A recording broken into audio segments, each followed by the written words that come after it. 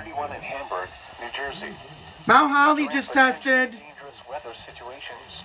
Specially built receivers are automatically activated to warn of the impending hazard. Tests of the signal are normally conducted by the National Weather Service in Mount Holly, New Jersey, every Wednesday between 11 a.m. and noon. If there is a threat of severe weather during the normal test time, the test will be postponed to the next good weather day. Reception of this broadcast, and especially Well, at least they were almost on time. It's supposed to test at 11:34. This variability, normally more noticeable at greater distances from the transmitter, can occur even though you are using a good quality receiver in perfect working order.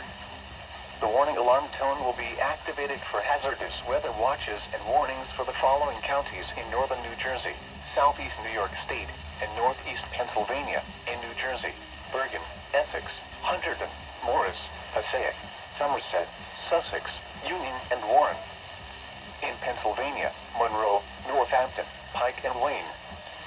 And in New York, Orange, Rockland, and Sullivan. This concludes the weekly Test of NOAA Weather Radio All Hazards, station KZZ 31 in Hamburg, New Jersey. Thank you for listening to NOAA Weather Radio All Hazards. Well, not only did Upton test today, but apparently Mount Holly also tested too. So I did not think I was also going to catch the KZZ 31 test today either. That's crazy.